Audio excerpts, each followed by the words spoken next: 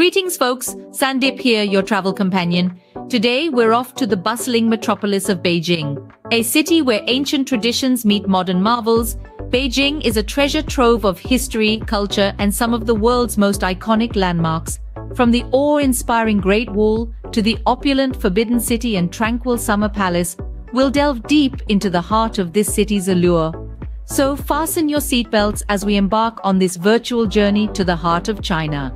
First stop, none other than the Great Wall of China. This architectural marvel, stretching over 13,000 miles, is not just a wall. It's a symbol of China's enduring strength and resilience. Conceived over 2,000 years ago, it was built to protect the Chinese Empire from invasions.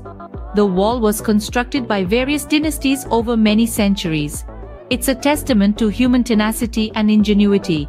Can you imagine the sheer will it took to build such a structure? Mainly by hand, across mountains, deserts, and rivers.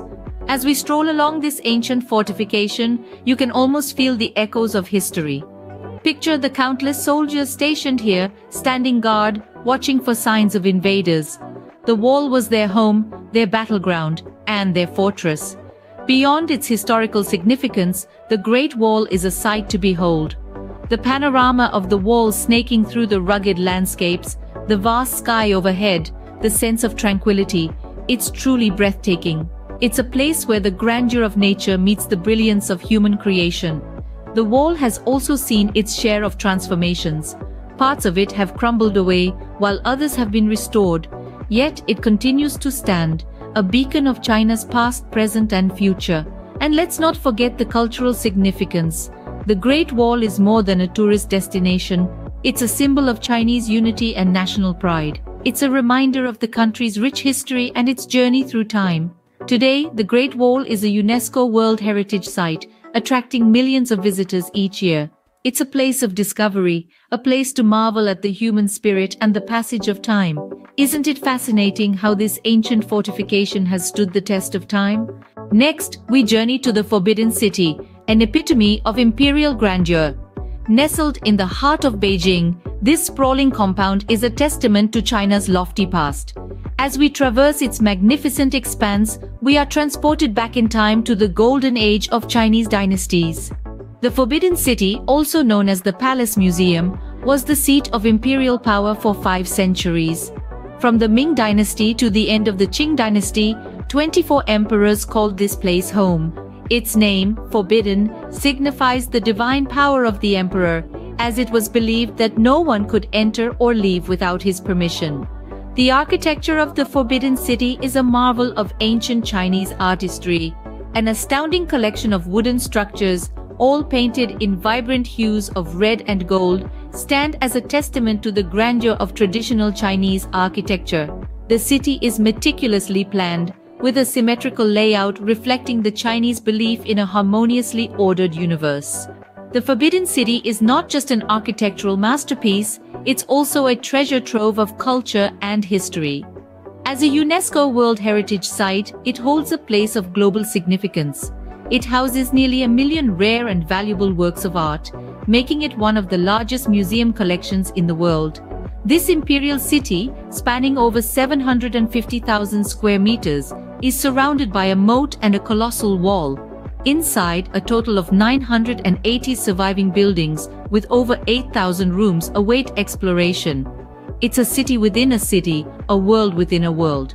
Its breathtaking palaces, intricate carvings and opulent courtyards tell tales of a time when emperors ruled and dynasties flourished. Every corner, every stone, every artifact holds a story, a piece of history that adds to the rich tapestry of China's cultural heritage. The Forbidden City, a true testimony of China's rich history and culture. Now, let's venture to the Summer Palace, Beijing's Imperial Garden.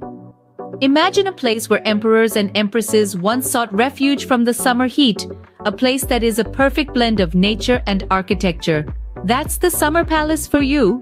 Nestled in the heart of Beijing, the Summer Palace is a testament to the artistic creativity and craftsmanship of ancient China.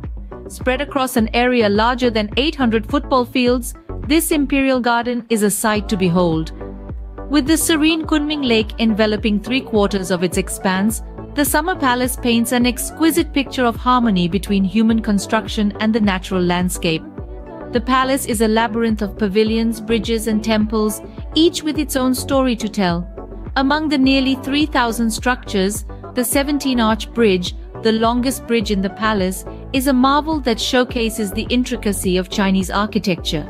The bridge, adorned with 354 stone lions, is a sight to behold at sunset when the golden rays reflect off the water, casting a magical glow on the structure.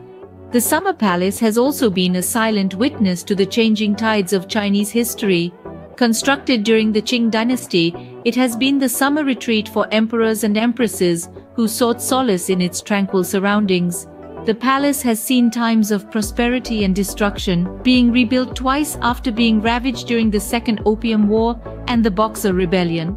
But like a phoenix rising from the ashes, the Summer Palace has always emerged more splendid than before. Today, it stands as a UNESCO World Heritage Site, offering a glimpse into the regal life of the past while providing a tranquil escape in the bustling city of Beijing. As we wander through the garden's winding paths, under the shade of ancient trees, past the ornate bridges and over the tranquil lake, we are transported back in time, experiencing the elegance of royal leisure firsthand. The Summer Palace, where you can bask in the elegance of royal leisure. Our final stop is the Temple of Heaven, a masterpiece of architectural harmony. This stunning structure, nestled in the heart of Beijing, is a testament to the intricate relationship between nature, architecture and spirituality. Its unique circular design is not just a visual delight, but a profound symbol of the connection between heaven and earth. Here, every curve, every hue, and every stone tells a story of ancient traditions and celestial reverence. The Temple of Heaven, or Tiantan as it is locally known, was more than a place of worship. It was the stage where emperors of the Ming and Qing dynasties would perform solemn rituals, praying for good harvests and divine blessings. With the rhythm of the seasons, they would offer sacrifices and engage in elaborate ceremonies, their actions echoing the eternal dance between humanity and the universe. The colors in the temple are not just aesthetically pleasing, but also hold deep symbolic meaning. The azure roof, for instance, represents the heavens, while the green tiles symbolize the earth. This color coding extends even to the surrounding walls and gates, creating a visually stunning tableau of cosmic harmony. The Temple of Heaven is not just a single building, but a complex of religious structures spread over an area of 273 hectares. Among these, the Hall of Prayer for Good Harvests is particularly noteworthy, with its triple-gabled circular roof and exquisite carvings, it stands as a testament to the architectural prowess of ancient China. In 1998, this sacred edifice earned its rightful place as a UNESCO World Heritage Site, a recognition of its historical and cultural significance. Today, it stands as a beacon of China's rich heritage, attracting millions of visitors each year who come to marvel at its architectural splendor and soak in its spiritual aura. So, whether you're a history buff, an architecture enthusiast, or a spiritual seeker, the Temple of Heaven is a destination that promises to captivate and inspire. It is a place where the past and the present, the earthly and the divine, the tangible and the mystical all intersect. The Temple of Heaven, where architecture and spirituality meet in perfect harmony. Well, that brings us to the end of our virtual tour. Let's take a moment to reminisce about the incredible places we've journeyed through in Beijing.